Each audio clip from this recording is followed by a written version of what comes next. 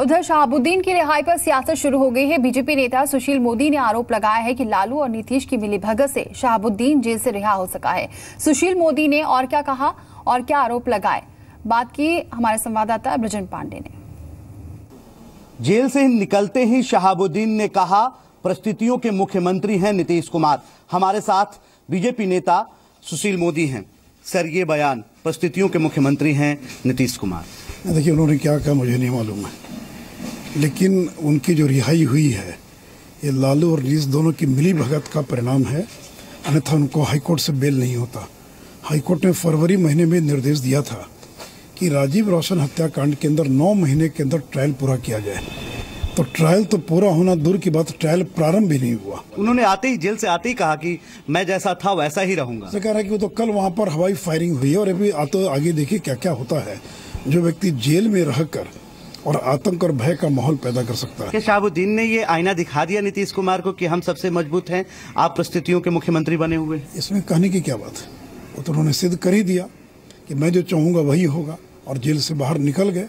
हमारे साथ सुशील मोदी हैं इन्होंने साफ़ तौर पर बताया है कि सरकार और लालू यादव की मिली भगत से ही शहाबुद्दीन बाहर निकले हैं। उधर आरजेडी अध्यक्ष लालू प्रसाद यादव ने अपने अंदाज में पूरे मामले पर सफ़ाई दी हालाँकि लालू को शहाबुद्दीन के बयान पर कुछ गलत नज़र नहीं आता। लालू साबुद्दीन ने कहा है कि नीतीश जी परिस्थितियों के नेता हैं। मुख्यमंत्री हैं। ये आपको क्या तकलीफ़ क्या हो रहा है? हमको सोना बताइए आप लोग ये बहुत व्याकुल है। नीतीश का नीतीश और कांग्रेस पार्टी और हमारा महागठबंधन का सरकार है। है ना? पार्टी अलग अलग है नेता अलग अलग है। तो हर सदस्य अपना नेता के प्रति कुछ बोलेगा कि नहीं बोलेगा? एक तरफ़ जहाँ शहाबुद्दीन पर सियासी बयानबाजी तेज है वहीं 11 साल बाद जेल से बाहर आने से शहाबुद्दीन का परिवार बेहद खुश है। जी क्या बताऊँ? बहुत खुशी है और हमें ही नहीं है। पूरे जिला वासियों को बहुत खुशी हो रही है। बहुत इंतज़ार के बाद वो घर आ रहे हैं। और खासकर अपने गाँव तो वो तेरह साल के बाद आ रहे हैं। तो अब जुबा से क्या बयान करूँ? मुझे बहुत खुशी है। और और क्या बोले? मैडम आपके पति किस मामले में जेल गए थे? जी उन्हें तो फंसाया गया था। वो तो ऑलरेडी जिस केस में बेल हुई है ऑलरेडी वो पहले से तो जेल ही में थे।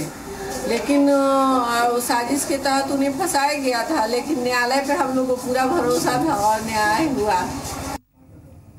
आरजेडी के बाहुबली नेता शाहबुद्दीन की रिहाई के बाद एक तरफ़ उनके समर्थकों में खुशी है तो दूसरी तरफ़ अपने तीन बेटों को खो चुके बुज़ुर्ग माँ बाप की पथराई आँखें गम के सागर में डूब गई हैं। इंसाफ के इंतज़ार का अंत ऐसा होगा, इस परिवार ने कभी नहीं सोचा था। एक तरफ़ खुशी है, शहाबुद्दीन के समर्थक जश्न में डूबे हैं। ढोल नगाड़े बजाए जा रहे हैं। लोगों के हाथों में फूलों का गुलदस्ता है। लेकिन इन तस्वीरों के पीछे का सच बेहद कड़वा है। तस्वीरों में नज़र आ रहे इस बुज़ुर्ग दंपति की आँखें गम में डूबी हैं। इंसाफ के इंतज़ार का अंत ऐसा होगा, इन्होंने कभी सपने में भी नहीं सोचा था। मरे हुए महसूस कर रहा है कि हम लोग मरे हुए हैं। आज है हम ज़िंदा नहीं हैं। आप दूसरा क्या महसूस करें? अब तो हम कोई उम्मीद की उम्मीद नहीं करते हैं। हम भगवान को दिखाने लगाए हुए हैं। पता नहीं भगवान हमको कब ले जाए बूढ़े माँ बाप उस दिन को याद कर आज भी सिहर उठते हैं जब उनके तीन बेटे हमेशा के लिए मौत की नींद सो गए। कोर्ट के फैसले के बाद इनका कानून से विश्वास उठ गया है। हम इस स्थिति में में गए थे कि हमको न्याय मिलेगा लेकिन न्याय हमको मिला नहीं। और क्या बताएँ सिवान में 16 जून 2014 को नगर थाने के डीआईबी मोड़ ओवर ब्रिज के पास बाइक सवार बदमाशों ने राजीव रोशन की गोली मारकर हत्या कर दी थी। इतना ही नहीं, रोशन के दो भाइयों पर भी तेजाब से हमला किया गया और फिर उनकी मौत हो गई। अपने बेटों को खोने का गम चंद्रकेश्वर प्रसाद उर्फ़ चंदा बाबू की आँखों में साफ़ देखा जा सकता है। हमारा कोई है, मैं दूसरे जगह कोई सहारा नहीं है। सिवान छोड़ के हम जाएँगे कहाँ? कोई सहारा नहीं है और करने वाली बात है कि हम इस अवस्था में क्या कर रहे हैं। बचे हुए हैं, जब तक ज़िंदा है ज़िंदा है, जब तक सांस है तब तक कोर्ट से शहाबुद्दीन को जमानत मिल गई है और अब इस परिवार को अपने दिव्यांग बच्चे की जान का डर सता रहा है। इंसाफ के इंतज़ार में पथराई आँखों के सामने खौफ के साथ गम का सैलाब है। सिवान से आकाश के साथ ब्यूरो रिपोर्ट, इंडिया ट्वेंटी